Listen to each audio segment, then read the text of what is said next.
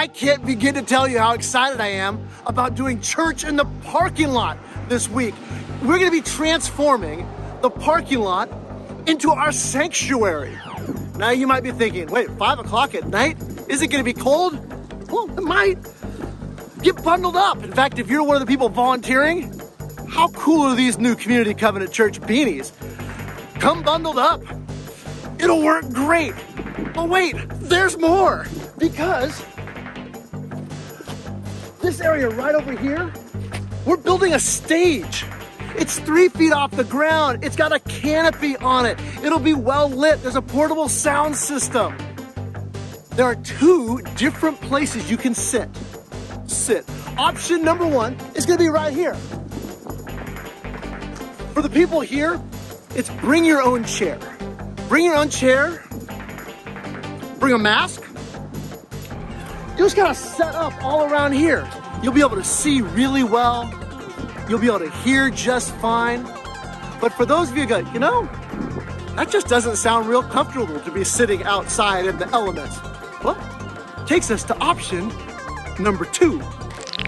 You could just sit in your car. From where I am, I can see the stage just fine.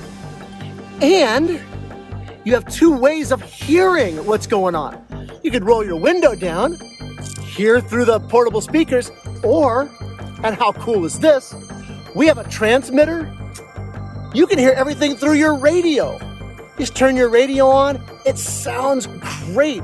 So even if it's raining, you can come and be in your car, see everything just fine, listen to it on your radio, and be part of the parking lot sanctuary. When you pull in next Sunday night, Two options. If you're gonna stay in your car, someone will direct you to go right over that way. They'll show you which parking spot to take. If you're planning on sitting outside, you'll come in and park down that way, walk through a check-in area, you get your temperature taken, make sure you have a mask, sign you in, and you find your spot. Remember, the theme is the light shines in the darkness. Why we're doing it at 5 p.m. It'll be getting dark but it won't be getting too dark because we're lighting up the parking lot. The trees around the parking lot will be filled with lights. And this light post is gonna be turned into a 50 foot Christmas tree of light. We also have a new nativity set that one of the small groups has painted that'll all be lit up as well. I hope you can see how exciting it's gonna be for us to be able to get more and more of us together for the first time since literally Easter to come and celebrate in this sanctuary, previously known as a parking lot, as we celebrate that the light shines in the darkness and the darkness has not overcome it.